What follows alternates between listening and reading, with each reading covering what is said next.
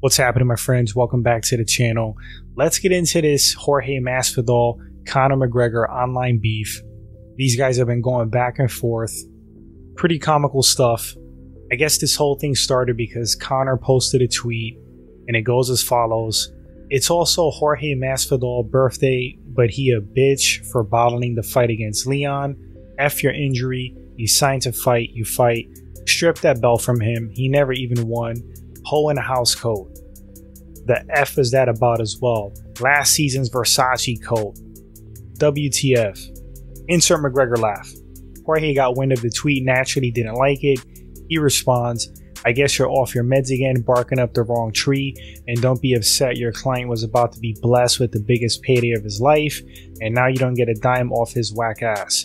Too much for you, little guy. Go back to fighting old dudes in bars. That's a pretty good burn by Masvidal. In a recent interview with Ariel Helwani, Masvidal touched on Conor McGregor further, called him a bitter old man, and he's going to end up snorting himself to death.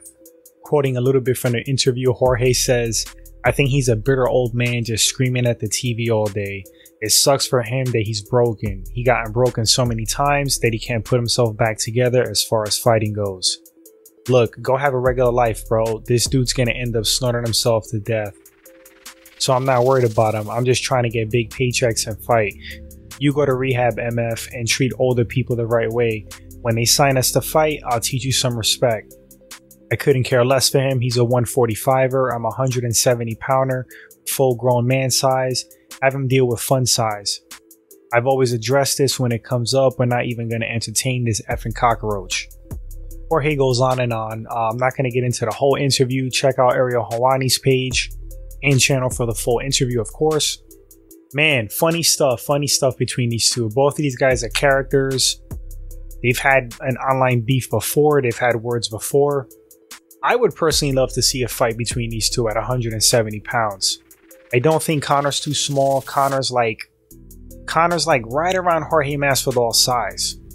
He's of course a little bit shorter, but I think Conor's like a little more muscular, I don't think size is going to be the determining factor on the winner or loser of that fight.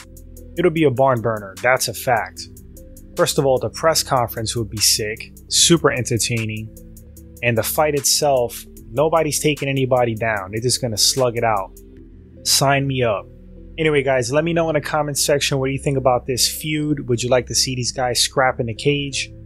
And if so, who do you think wins? Do you think Conor is too small for Masvidal? Or do you think size is not really a factor? Would love to read your thoughts. Thanks for watching the video. If this is your first time at the channel, hit that sub button, like and share. Appreciate it, guys. And until the next segment, you all take care.